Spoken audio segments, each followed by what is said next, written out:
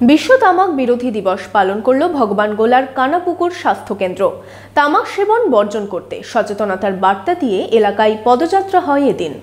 Open বা বা যেখানে বাচ্চা মহিলা আজকে বিশ্ব তামাক নিষিদ্ধ দিবস।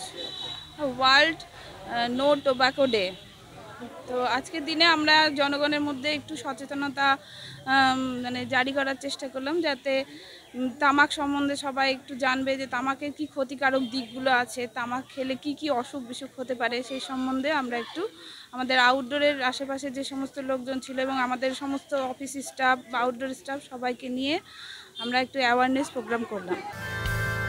মধ্যবঙ্গের সমস্ত খবরের দ্রুত আপডেট পেতে সাবস্ক্রাইব করুন আমাদের ইউটিউব চ্যানেল মধ্যবঙ্গ নিউজ।